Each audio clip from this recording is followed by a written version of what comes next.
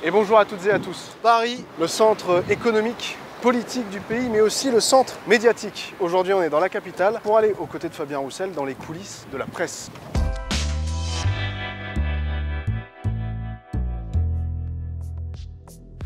Pour celles et ceux qui auraient manqué un épisode, la pandémie et les différents confinements imposés au plus grand nombre ont fait exploser les consommations vidéo et télévisuelles des Françaises et des Français. L'audience médiatique était déjà un enjeu majeur de la communication politique, mais c'est devenu depuis peu un vecteur d'expression vital pour qui veut faire exister ses idées dans le paysage. C'est pourquoi Fabien Roussel multiplie les différents plateaux dès que possible. Fort de son expérience d'ancien journaliste, son ton passionné et sa sincérité en font un bon client, comme on dit dans le milieu. Caroline Roux, journaliste connue et reconnue, admet volontiers, au-delà de toute considération politique, le talent de notre député du Nord. Alors, c'est un bon client déjà parce qu'il est très bien réveillé à 7h38, ce qui n'est pas le cas de tous mes invités. Il est passionné, donc sur le plateau, il est vraiment, il y a une vraie présence. Euh, il vient pas pour euh, dérouler du câble euh, et faire une matinale de plus. Si c'est ça un bon client, ouais, c'est un bon client. Une bienveillance qui fait plaisir à entendre, mais qui malheureusement ne se vérifie pas sur tous les plateaux, ce que constate le secrétaire national du PCF. Bien, je viens deux minutes, mais c'est juste pour savoir, on est euh, où exactement là? Là, on est dans le, la salle d'attente de France 2 avant de faire les 4V. C'est comme euh, à l'aéroport ou chez le docteur. T'attends.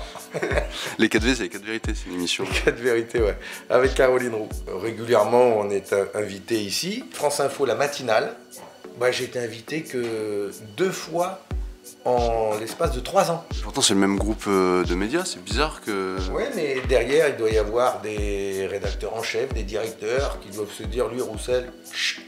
Par contre, Jadot, il est invité une fois par mois. Xavier Bertrand, il est invité une fois par mois. Euh, les Insoumis sont invités une fois par mois. Mais les communistes, ramassent alors, pour éviter d'être à la ramasse, Fabien Roussel quitte parfois les plateaux des émissions d'actualité au profit d'émissions plus légères dans lesquelles on peut toucher un public plus large. C'était la raison de sa présence chez C'est à vous il y a quelques jours où, entre deux rencontres impromptues avec quelques célébrités, le député du Nord avait, entre autres, porté la voix des jeunes et des salariés de l'industrie. Les salariés, aujourd'hui, demandent à vivre mieux de leur travail. 1280 euros net un SMIC aujourd'hui. Et pour ça, des hommes, des femmes travaillent durement parfois de leurs mains ou de leur tête et ça ne paye pas. Tout augmente. Tout. L'électricité, le gaz, l'eau, etc. Un salaire, un SMIC, ne permet plus de vivre dignement. Et aujourd'hui, beaucoup ont perdu, beaucoup d'étudiantes et d'étudiants ont perdu leur job, leur boulot, et, aujourd'hui n'ont plus rien.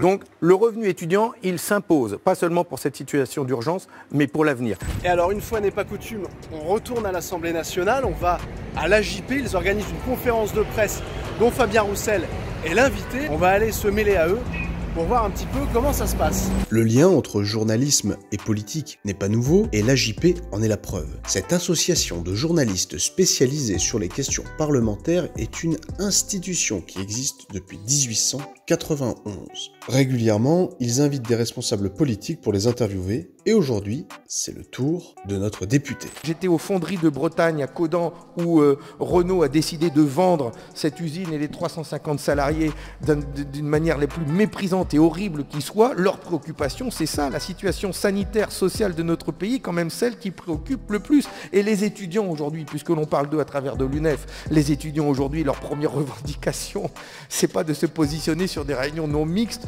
ou pas, c'est de savoir s'ils vont avoir à manger. Nous sommes en train d'organiser organiser des distributions de denrées alimentaires, de demander à ce gouvernement qui nous fait des leçons euh, de, euh, de républicanisme, de lui demander de, de, mettre en place le plan d'urgence pour nos étudiants. Enfin, c'est quand même ça la priorité. Exister à travers les médias, pour Fabien Roussel, ce n'est pas une question d'ego. C'est surtout la possibilité de porter à travers sa voix les messages de toutes celles et ceux qui ne bénéficient pas de grandes audiences pour exprimer leur colère et leurs inquiétudes, pour présenter leurs combats et leurs alternatives. On fait le point sur tout ça dans les rues de Paris, dans un petit échange improvisé entre deux manifs. Fabien, Petite interview euh, pris euh, comme ça, là je t'attrape au vol, entre euh, encore deux réunions et deux... non là je vais à la manif des retraités là. Et deux manifs donc, et quelques manifs. Donc je t'ai suivi un petit peu là sur la presse ces derniers jours. Ce qui est pas mal revenu des journalistes quand même, c'est qu'ils disent quand même que tu es plutôt un bon client. Est-ce que ça te fait sourire qu'ils disent ça de toi? Qu'est-ce Comment tu interprètes ce terme? C'est un terme qui revient dans le jargon journalistique Non je suis pas un client, moi j'essaie de porter la parole de ceux que je rencontre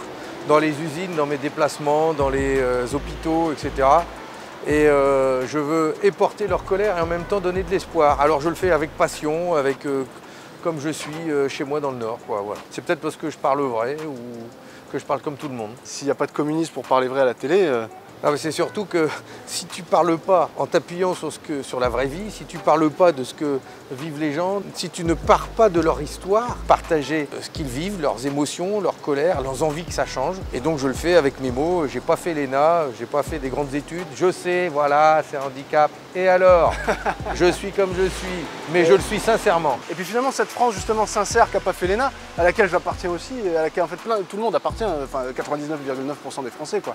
Euh, elle va peut-être se retrouver aussi dans ce discours-là, parce qu'elle est un peu sous-représentée dans les médias aujourd'hui. Mais c'est l'objectif, c'est pour ça que modestement je présente ma candidature à l'élection présidentielle parce qu'on a besoin d'un président qui ressemble aux Français, un président qui aime les gens. Imagine si à l'Élysée il y avait quelqu'un qui a ressemblé à tout le monde et qui, était, euh, qui vivait euh, ce que vivent euh, aujourd'hui nos concitoyens, les fins de mois difficiles pour ceux qui perdent leur boulot, parce que je le vis dans ma circonscription et dans toutes les circonscriptions de France où- où je me déplace. Alors ça me fait venir une question, je vais mettre deux choses en lien. La première, c'est que le PC est encore aujourd'hui un parti très puissant en termes d'adhérents, en termes d'élus. Pourtant, il est un peu sous-représenté dans les médias. Et en même temps, là, tu parles de la présidentielle. C'est aussi euh, une façon de remettre le PC sur le devant de la scène de la présidentielle? Non, c'est pas le sujet. Enfin, je, le non, dis, je le dis vivement. Maintenant, une élection présidentielle, c'est un temps fort, important, où les Français choisissent celui ou celle qui va les représenter, qui va les défendre et qui va, moi c'est ce que je souhaite, changer le modèle économique dans lequel on le vit. Euh, L'objectif, c'est ça.